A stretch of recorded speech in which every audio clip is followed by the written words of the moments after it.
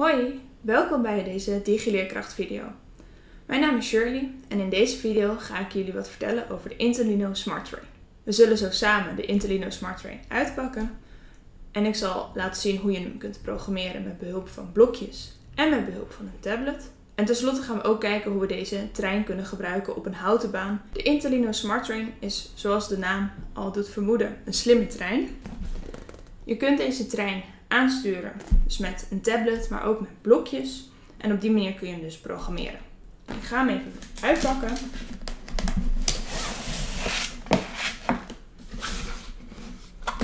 In de verpakking zitten zit de trein en ook een wagonnetje die je achter de trein kunt stoppen. Verder zit er ook een kaart bij. En op de kaart wordt aangegeven welke kleurencombinaties nodig zijn om bepaalde commando's te geven aan een trein. En in dit pakket zit een oplaadsnoer, 20 stukken rails en 40 kleurstukjes. Ik zal ik allemaal even uithalen.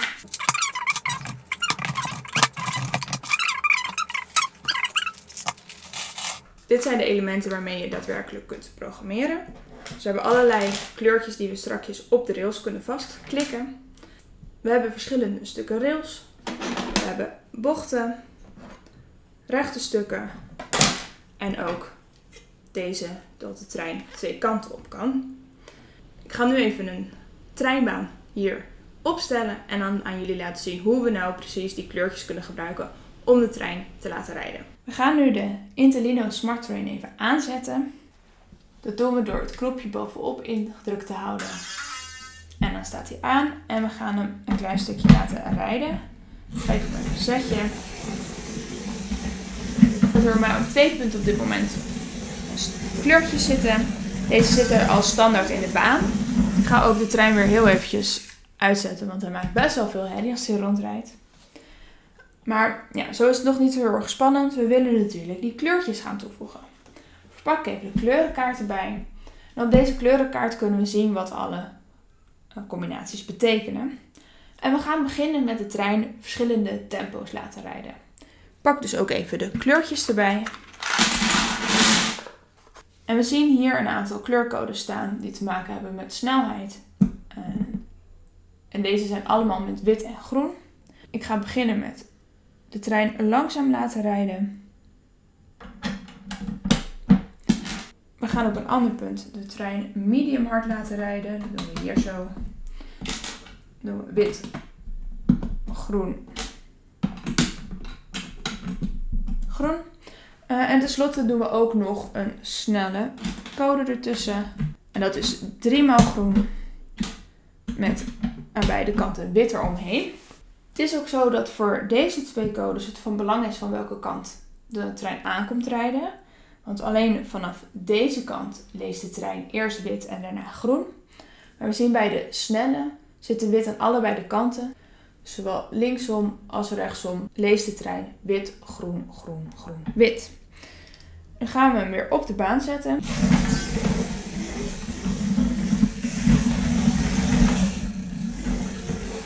En we zien zodra de trein over een kleur heen rijdt, dat de trein het tempo aanpast. Dat is op zich al heel erg leuk, maar we willen natuurlijk nog meer kunnen doen. We gaan ervoor zorgen dat de trein altijd een vaste route rijdt. Op dit moment komt de trein blauw, rood tegen en donkerblauw, lichtblauw. En als we gaan opzoeken op de kleurenkaart, dan zien we dat dat betekent dat de trein een random, oftewel willekeurige kant op gaat. Maar we willen dat de trein altijd over deze kleurtjes heen gaat. Dus hier moeten we programmeren dat de trein rechtdoor gaat. Rechtdoor, dat is lichtblauw, rood en groen. En we willen ook, als de een keer van deze kant afkomt, dat hij de binnenbocht neemt. De binnenbocht, oftewel naar rechts draaien, is lichtblauw, donkerblauw, donkerblauw. Dus die zetten we er ook in. Dat gaan we natuurlijk gelijk weer testen.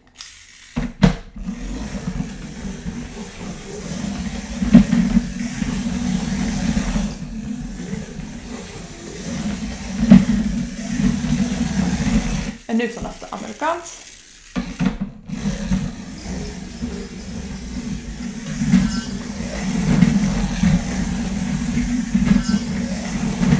Maar de trein kon nog meer. Je kan namelijk behalve de trein programmeren door verschillende snelheden te gebruiken en door de trein te vertellen of de trein naar links of naar rechts moet, kun je ook er nog voor zorgen dat de trein gaat stoppen. We hebben daar een aantal codes voor. 2 seconden stoppen, 5 seconden stoppen of 10 seconden stoppen. Of dat het het einde van de route is, dus dat de trein helemaal blijft staan. Je kan het wagonnetje af laten vallen. Dus er zijn allerlei verschillende acties waarmee je dus kunt programmeren met deze trein. Ik noemde het al eerder, je kunt ook met je tablet de trein aansturen. Dat is ook wat we nu gaan doen. Ik ga even de baan ga ik even leegmaken, dus ik ga alle kleurtjes er weer afhalen. En dan gaan we dus de trein programmeren met een tablet. Eerste wat we gaan doen met de tablet is vrij rijden. De trein moet daarvoor wel aanstaan. We hebben de trein gevonden, dus die klikken we aan. En dan gaan we nu verbinden. Dan krijg je ook een muziekje te horen en je ziet het ook aan de lampjes bovenop dat de trein verbonden is. Zetten we hem natuurlijk wel even op de baan. En nu kan ik de trein laten rijden. Bijvoorbeeld langzaam, sneller, supersnel. En ook weer laten stoppen. En we zien dus ook hoeveel centimeter per seconde de trein aflegt. Wat we verder nog kunnen doen als we de trein weer langzaam laten rijden, is we kunnen zeggen ga rechtdoor bij de volgende kruising. Of hou links aan of hou rechts aan. We kunnen ook de kleurtjes instellen. Dus nu is bijvoorbeeld de voorkant een roze lampje. Daarnaast kan de trein ook nog herrie maken door hem te laten toeteren. Ander belletje af te laten gaan. Nu gaan we even terug naar het hoofdmenu. We gaan nu namelijk zelf codes maken. Daarvoor klik ik op bewerker. En dan kunnen we namelijk, als we de paarse blokjes gebruiken, kunnen we bepaalde codes maken. De eerste wordt wit, paars en dan blauw. Nu staat in de app nog dat hij leeg is. Maar als ik er dan een keertje op klik, dan kan ik kiezen of het een richting veranderen code moet zijn. Hoe snel de trein precies moet gaan. Dus dat kun je zelf instellen tussen de 30 en 70. Ook kun je ervoor kiezen om de trein te laten wachten. En dan kun je kiezen tussen de 1 en 25 seconden. Terwijl met de standaard kleurcodes hadden we alleen de keuze tussen 2, 5 en 10. Wat kunnen we nog meer in de app? We kunnen ervoor zorgen dat als de trein over een bepaalde kleurcode heen rijdt, dat de kleur van de trein verandert. Dus dan zou je op verschillende plekken in het parcours verschillende kleurtjes kunnen koppelen. En tenslotte kunnen we ook nog geluid laten maken. Dat is ook wat we nu gaan doen. Zodra de trein over deze kleurcode heen rijdt, dan willen we wel die sirene horen. Dan druk ik op uploaden. Dan gaan we de trein er weer opzetten en kijken of de codes goed worden uitgevoerd. En op deze manier kun je dus zelfs nog je eigen codes toevoegen. Nu hebben we natuurlijk een redelijk simpele baan neergelegd. Ik heb nu ook niet alle stukken gebruikt. Je kunt aan deze kant ook zo'n dubbele lus neerleggen. Je kan ook nog allerlei voorwerpen langs de baan neerleggen en op die manier echt opdrachten gaan geven. Bijvoorbeeld hier maak je een stationnetje en zeg je nou bij het station moet de trein altijd 5 seconden wachten zodat mensen kunnen in- en uitstappen. We hebben tot nu toe dus gezien hoe we deze trein kunnen aansturen met behulp van de kleurtjes en met een tablet. Maar ik kan me voorstellen dat je misschien op school al een houten treinbaan hebt liggen. En dan is het natuurlijk wel een beetje jammer als je dan weer een hele nieuwe treinbaan moet kopen. Dus ik ga nu laten zien hoe je ook je houten treinbaan kunt gebruiken met deze Interino Smart Train. Ik heb hier een stuk houten rails van de IKEA. En ik heb op zo'n houten rails een stukje magneettape geplakt. En ondertussen heb ik ook een ja, soort magneetpapier gevonden. Dus magneet aan de ene kant en gewoon papier aan de andere kant. Hebben we bij een eurowinkel uh, gekocht. En we gaan nu proberen om op deze magneetrails zelf zulke soort stukjes te maken en kijken of de trein het doet. Pak ook even een schaar en dan kijk ik hoe breed zijn die stukjes ongeveer. En dan knip ik een strookje van.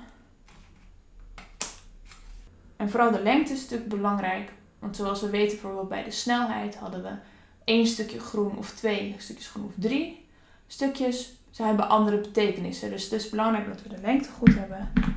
Nou. Dan leg ik ook weer het stukje even op het magneet. Dat ik ongeveer weet hoe lang die moet worden. Nou, zo het is wel goed. Ik heb een aantal stukjes geknipt. Die passen dus ook precies op zo'n stukje rails. En ze zijn niet super magnetisch, dus je haalt ze er heel makkelijk af.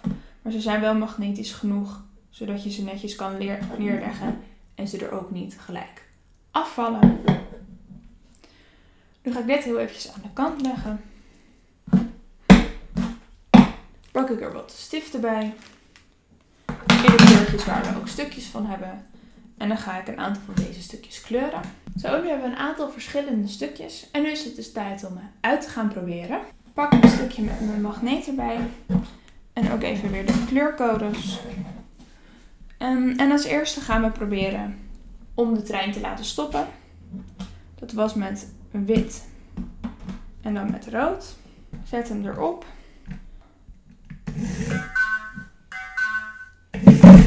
En tada, de trein gaat stilstaan voor 2 seconden.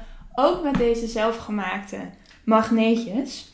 Ik ga natuurlijk nu ook even nog wat andere kleuren uitproberen. Want ik kan me voorstellen, de rood lijkt ook best wel op de rood die in het pakket zit. En wit natuurlijk ook. Maar of ook de andere kleurtjes het doen. Ik heb de baan ook even wat langer gemaakt, zodat de trein er niet in één keer afrijdt. Zo, dan zetten we de trein en het wagonnetje klaar. En dan eh, gaan we het zien. En ook het wit en het geel zien we dat de trein netjes het wagonnetje achterlaat. Dus ook de gele gaat goed. Ga ik nog gauw eventjes ook de andere kleurtjes testen. Dat werkt ook. En om de groen goed te kunnen testen, heb ik ervoor gezorgd dat de Intolino op zijn snelst gaat.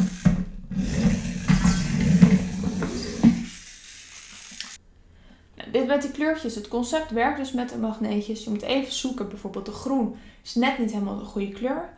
Maar voor de andere kleuren, ik heb Hema stiften gebruikt. Dat werkt dus prima.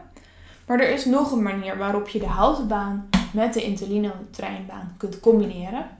Daarvoor ruim ik heel eventjes dit op en dan kom ik eh, weer bij jullie terug. De tweede optie is namelijk het gebruik van deze adapters. Die zijn van Intolino zelf. Er zitten in één verpakking acht van deze stukken. En wat je hiermee kan doen, is een Intolino baan connecten aan je houten baan. Ik ga dat natuurlijk nu ook gelijk even doen. Daarvoor pak ik deze twee stukken. Die wil ik dus aan elkaar maken. En dat kan ik zo zo aan elkaar maken. Dus nu kan de trein zo rijden van de Interlino-baan naar de houten baan. En dan kun je hier kleurtjes inklikken met de steentjes die je hebt. En hier kun je gewoon je reguliere baan gebruiken. Je kunt natuurlijk ook zeggen, ik stop één zo'n stukje tussen de houten stukjes. En dan kun je dus de trein er overheen laten rijden van een houten stuk hier een commando geven en vervolgens weer verder op je houten baan. dat is ook weer een manier om aan de gang te gaan met de Intelino Smart Train. En we hebben in deze video dus kennis gemaakt met de Intelino Smart Train. We hebben gezien hoe we hem kunnen programmeren met behulp van kleurtjes, met behulp van de tablet. We hebben ook gezien hoe we een houten treinbaan kunnen inzetten met deze trein. Bedankt voor het kijken. Tot de volgende video. Doeg!